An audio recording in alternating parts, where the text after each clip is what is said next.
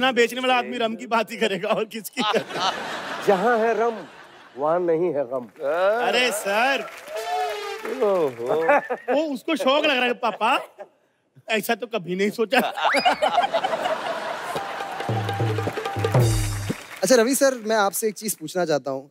आप जो है बड़े प्यार से किसी को भी बाबू बाबू कह के बुलाते हैं। आप अपने वॉचमैन को भी बाबू बुलाते हैं। आप अपने दोस्त को भी बाबू बुलाते हैं। तो कभी आप ऐसे घर पे आए हैं और भाभी जी ने मतलब आपकी वाइफ ने दरवाज़ा खोला और आपने बोला हाय बाबू तो कभी भड़क गई कि यार अभी तुम नीचे सब्ज़ी वाले को बाबू बुला के आए मेरे लिए कोई नया नाम ढूंढो। No, no.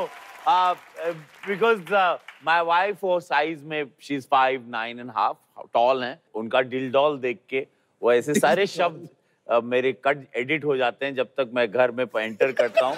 तो एकदम यू नो completely एकदम सेंट बन के एंटर द हाउस या उन, उनके सामने बदतमीजी करने की हिम्मत नहीं है नहीं बट बाबू तो प्यार से बोलते हो ना। नहीं लेकिन हम वो वो मौका ही नहीं लेना चाहते कि उनका हाथ भी लंबा चौड़ा है कि कहीं एक भाई साहब!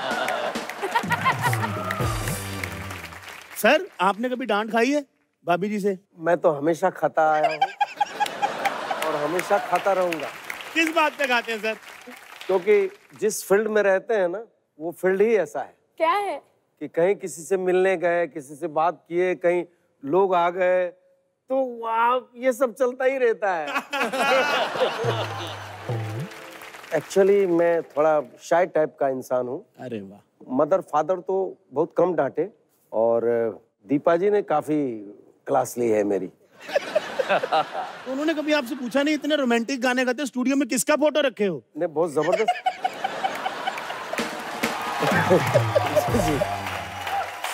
ये प्यारी बातें हो गई। अब मैं बताऊँ? हाँ। अब सच बताओ। अब सच बताओ हाँ। पापा जो हैं ठीक है शाय वाय हैं बट जब उन्होंने मम्मी को पटाना था तब उनसे रोमांटिक बंदा कोई नहीं था भाई। क्या बात रहे हो? बताओ बताओ। मतलब हर चीज़ में मुझे उनसे बहुत कुछ सीखना है इंक्लूडिंग दिस इनफैक्ट कुछ ऐसे भी दिन हुए हैं जब ये बॉयफ्रेंड गर्लफ्रेंड थे। हाँ। वो शायद एक बार इनसे कुछ कुछ तो हो गया होगा तो इनसे रूठ गई थी। तो इनके फ़ोन नहीं उठा रही थी इनसे मिलने के लिए तैयार नहीं थी। तो बारिश का समय है और पापा नीचे फ़िल्मों में देखते हैं सर हम ये कि बारिश का समय है पापा नीचे खड़े हैं और एक फ़ोन लगाते हैं कहीं से बोलते हैं मैं तुम्हारी बिल्डिंग के नीचे खड़ा हूँ। जब तक तुम मुझे माफ़ नहीं करोगी मैं जाऊँगा नहीं। और literally till the next morning he was down पापा बिल्डिंग के नीचे भाई तो भाई वो सिर्फ़ वो सिर्फ़ सिंगिंग में रोमांस ही नहीं करते हैं उन्होंने रियल लाइफ में भी कमाल का रोमांस किया है आया उठ पहाड़ के नीचे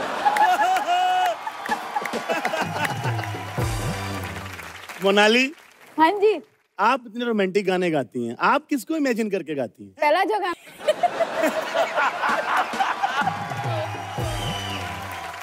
तो ऐसा कुछ नहीं नॉट एग्जैक्टली लेकिन मुझे मालूम है बताइए सर मोनाली प्यार करते अरे क्या बात है, क्या बात है। मैं इकलौती नहीं हूँ।